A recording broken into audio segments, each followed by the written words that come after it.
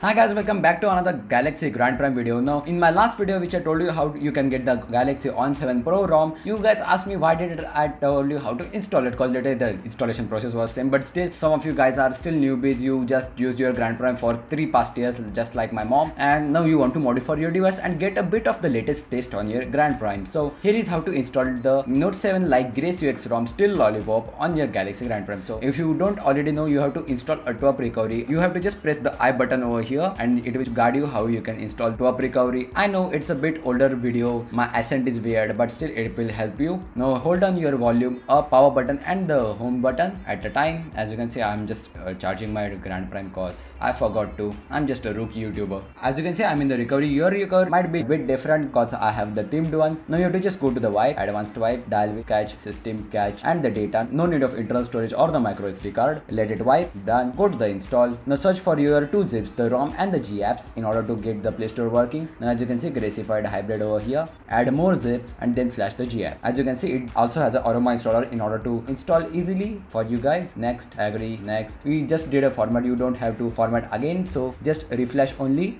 All of this ROM works on G530H only not 530F or FZ or an M. Now you have to still check which kind of 530 do you have. Now the options over here are for the single SIM 530H XXU which I guess mine is but mine is actually the dual SIMs XCU and XCS. Now majority of you will have this middle one so I will just go with it. Now you get the option for Super SU Dolby Atmos. Let's just go for the Dolby Atmos. This installation wouldn't take much of your time just like 5 to 10 minutes. This wouldn't take even like 2 minutes or long. It's just installing like one and a half minute which was very fast for Grand Prime. Let's just hit next. Don't reboot device. Let's just hit the next again and it will start installing the G apps for the Google Play services and the Play Store. This also wouldn't take much of your time. As you can see the G apps also have been installed in this ROM. So let's just reboot the system right away. Now it will ask you for the super but it's already pre-rooted just do not install. And the ROM will now take 8 to 10 minutes for booting. Now once you install a top recovery it also say it over here. So as I was correct it just booted in like 8 to 10 minutes. But as you can see this is the new on 7 Pro ROM. So as you can see Wi-Fi is confirmed working. Let's just uh, connect. The phone is in total brightness so sorry for this black background. Let's just next agree. As you already know we have all the G apps installed so it will check for the Google services too. There you go. You can fill up your email over here. Skip skip next skip next more next. For 2014 i bought this for 16000 rupees and it was quite a good deal at that price point snapdragon 410 and the developer has really done very nice job. As you can see all of the apps are updating in the background.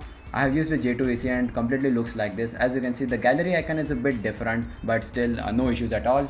Phone totally like a note 7 next is the contacts fully works again and apps open very quick. There you go messages. Messages is a bit weird. Just don't take this rom as the assumption. The developer is still trying to develop this rom and implementing more of the like grace ux apps from the note 7 for example this music app. As you can see it's from the note 7 it doesn't look like the older one which was from the s5 you can expand it over here. Just fully works. Now let's just hop on to the settings. There you go. Settings has been totally themed. About device galaxy on 7 still over there. Android security patch march as you can see 5.1.1. Now it has been in the news. One developer got the Marshmallow booting, not literally booting to the setup screen, but actually booting the JFuzz Marshmallow update. There are still hopes that we can actually see a Galaxy S8 ROM for this thing, because some of the Galaxy S8 apps do run. I'm not going in depth with the camera, because it's literally same with the on ROM. Now if you want the in-depth review of this camera, you can hit the I button again over here for watching my on 7 Pro ROM review. Now this is actually the same base of the on 7 ROM, so in feature wise, it's not even different at all. Only the ROM has been rethemed over here. As you can see all of the apps just look like the galaxy note 7 you get the gallery over here. Again white and stuff. You get the video. You can also install the galaxy note 7's memo app onto this rom which is very nice touch. Go into the my files. As you can see totally been graced then you get the google apps dolby atmos over here as being installed in the setup. Let's take a closer look at this quick settings panel. As you can see it's totally been graced theme. It totally looks like a galaxy j2 ace or the grand prime plus in pakistan. As you can see you get all of the toggles. You also have ultra power saving now if you want the ultra data saving you can just download the Opera Max and it will work. As some of you guys told me in the last video that the ultra power saving was not working. Here you go. It's been fixed. Let's just enable it for the proof. There you go. Ultra power saving fully working. So guys, thanks for watching. This was I guess a long review of a Grace UX for our Galaxy Grand Prime. Hope you guys enjoyed. And if you want more videos, cause little I'm planning more videos with this Grand Prime such as what things you can do with in 27 with your 2014 device. So if you don't want to miss that, subscribe down there and see you in the next one.